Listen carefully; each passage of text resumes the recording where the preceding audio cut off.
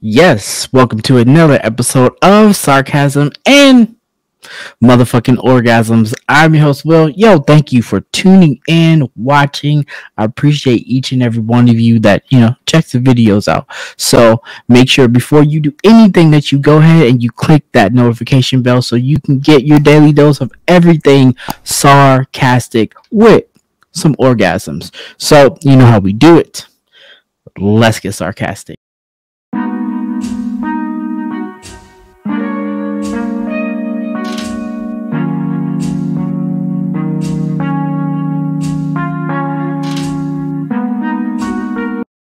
So I know I can, you know, go hard on people um, by just saying things that sometimes it makes sense, sometimes it doesn't.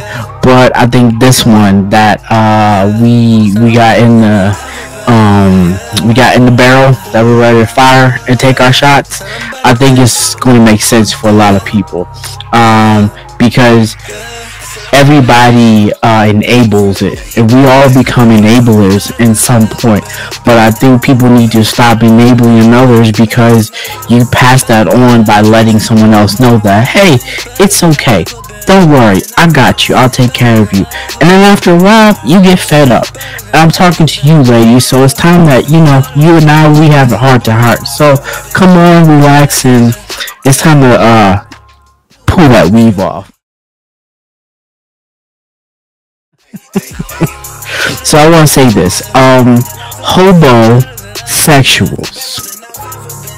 Yes, hobosexuals. And what I mean by that is you got these men out here that are sleeping for just a place to stay. Hobosexuals. Hobos that are sexual, meaning they'll sleep with you just be able to stay there. Now, let me paint the picture for you so you can understand a little bit better because I know I got some slow ones, and but that's okay. Um, so you doing you doing really do everything's fine, and y'all go on a date, and the next thing you know, you invite them over to your place, which is cool. It's fine, no problem. But then, you know, as soon as you do that, oh well, you get ready to leave, you get ready to go wherever you do. He'd be like, yeah, I'm gonna go, blah blah blah. And so as soon as you leave and he leaves, he creeps back in, he stays, and then he never leaves. And you're enabling that person because you it comes to a point where it'd be like, nigga, you gotta go. You gotta get up and do your own thing. You can't be staying under here just because you ain't got no place to go. And most of the time these niggas don't because like I've said before, broken homes raise broken people, and so these men are so broken that they don't know how to be on their own because they're so used to being under someone else. Like they move from one crib to another crib, like they are still men child, they are still babies. So, like I said, if you really hear it, they move from one crib to another. Like they move from their mama to their girlfriend, and they still staying in that between. Cause like if you kick him out, he'll go back to his mama's, or he'll go back to his grandmama's, or wherever. But it's never like that man actually grows. So what what happens? These niggas become hobosexuals. These niggas, you know, just sleeping around from one bed to the next, and the next thing you know, they're bringing kids into this world, which is not fair. It's not fair to the kids, and it's damn sure not fair to the women or the women that is putting up with these niggas. Cause like these niggas say, oh I got this bar and I got this show and I got this and that. Yeah, you do, but what are you really doing? Whose time are you wasting? Whose energy and space are you consuming and taking up by doing all these dumbass things? Like you're a bum ass nigga that you're not getting your shit together. You're a bum ass nigga that's just living off somebody else and thinking that you're really um controlling the world when you're really not. You're just invading other people's spaces where you're not doing nothing for nobody. You are just becoming a nuisance, a hassle, someone that you have to deal with not because you love them, but more because you almost I hate to say this, but you also envy them out of way because you're mad because they can't seem to get their shit together while you have yours. And ladies, you're no different to the fact because you allow these men to come in. You say you got a good dude. Women keep saying they don't want to build the bear. Bear. But nine times out of ten, they get these niggas that become Build a Bears because you gotta build this nigga up for the next one, and then you get mad because like this nigga is going on and prospering more than he was when he was with you. Well, sis, when you had the chance to kick him out, you didn't want to. Why? Because you had that in-house dick. You had that dick that was so good that you just got dickmatized. It was like, oh yeah, I'm a I'm gonna keep him. I'm gonna keep him around because he only plays one role. This nigga can't even take out the garbage. This nigga can't even change the tire. This nigga can sit in your car. Yes, ladies, this nigga can sit in your car playing his music while you out on the end pumping gas in your car. That's not what a dude is supposed to do.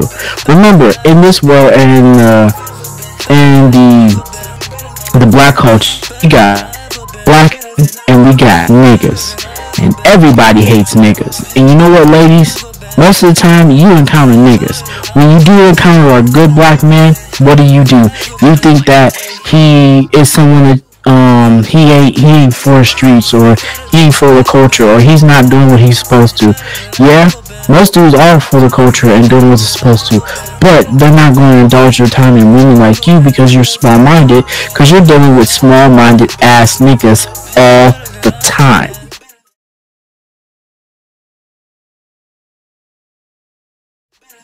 You stop doing this, when you change your own fucking mindset and get rid of this rat because all he's doing is eating up all your cheese and then he's going to move on to the next show, then what happens? You become broken. You start singing all these goddamn songs and sharing all these goddamn memes. That makes no fucking sense. Just because you picked the wrong one. Remember, we all have a place to where we can change things, where we can allow things to be better than what they previously was. But you gotta be able to say enough is enough. You can't keep quoting all these different type of things that's going to make you feel better when really it's not. In order to make change, you have to make a change. You have to say enough is enough. You have to stop dealing with these hobosexuals and thinking, well, he's got something in him. I know I can change him. And see, that's where you're wrong. You can't change him. Only he can change. The moment the moment somebody wants to change is the moment when someone gets up like, you know what, I'm sick of this. I'm sick of the same thing over and over and over again. Because remember, the definition of insanity is doing the same thing over and over again and thinking you're you're going to get different results. So you need to stop driving yourself crazy and driving yourself mad thinking that you're going to be able to change this nigga when you're really not. Like this nigga is not for you. This nigga is going to put you in a rut that you might never be able to get out of. Why? Because you allow it. You need to stop allowing things to happen to you just because you think, oh, I love him. Oh, I care about him. Oh, I know he can change. Oh, I know he can get his shit together. Really it's not. It's not. Um, ladies, you have to get it together. You have to learn from your mistakes. Yes, maybe one guy can change your opinions on men, but not all men are trash. Like, come on, you can't keep using that that that same spin thinking it's going to be for everybody. When it's not. All men are not trash. Just the men you might deal with might be trash, but not all of them.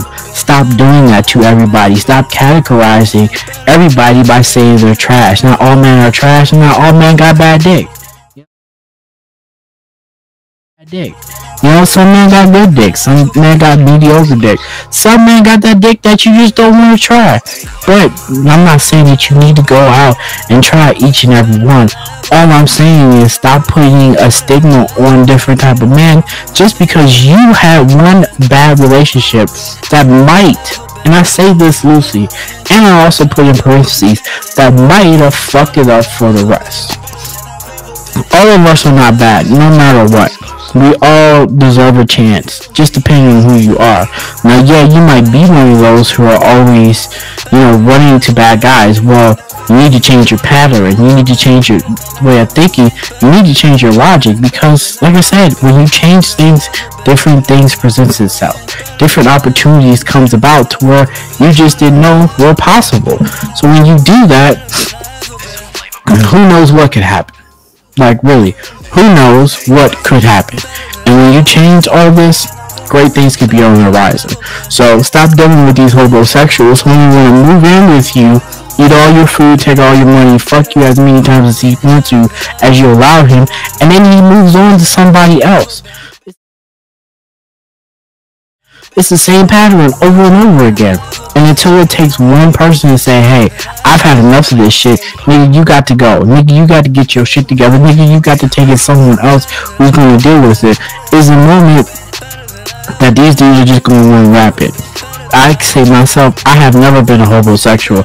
I've never gone from bad to bad, from place to place, because at some point I had to learn that I can't keep living off someone else just to make myself feel better. So I had to get my shit together. I had to be able to start from scratch and build from there.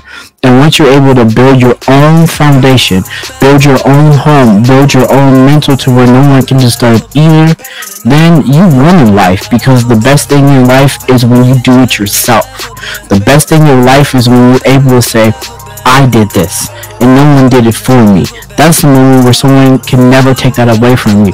And once you have it, once you know what it takes to get, you will do anything to keep it, no matter what. The best thing we can all do is have our own peace of mind. The best thing we can do is have our own peace of mind to where we won't let nobody take it from us. Because the moment we let someone take it from us is the moment we rob ourselves of our own individuality.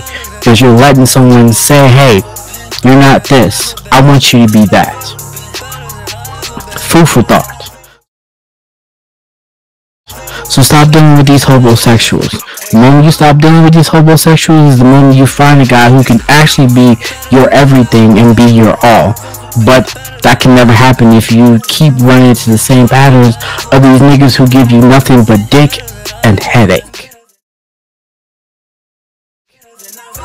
So, Make sure that you like, comment, and subscribe to the channel down below. I want to thank you so much for checking me out on the Sarcasm Orgasm YouTube channel. So, I am your host, Mr. Sarcastic himself, Will Day Fresh. If you want to check me out, head over to the YouTube page. That is Sarcasm 2 underscores orgasms. So, I'm your host, Will, and I'll talk to y'all all motherfucking soon.